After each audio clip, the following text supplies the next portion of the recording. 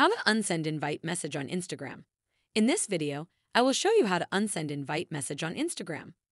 First, open or launch the Instagram mobile application just like you can see here. I am now on the direct messages section of my account. Normally, when you want unsend a message you sent to someone, the process is very easy. All you have to do is to long press on the message and this menu with options will appear. From the options, then you will see one named, unsend, and you can then tap on it, and the message will be unsent from the person. It is that simple.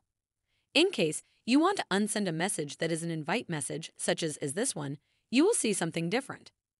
When you long press on the message, a menu with options will appear.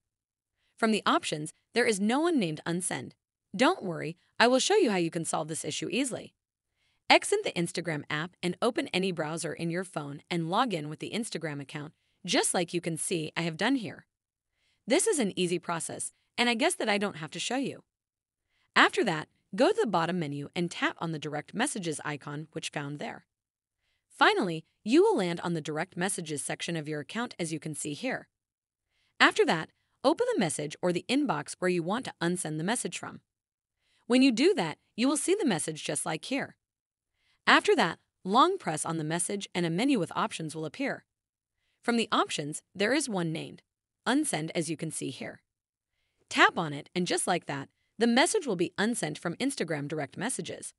That is how to unsend invite message on Instagram.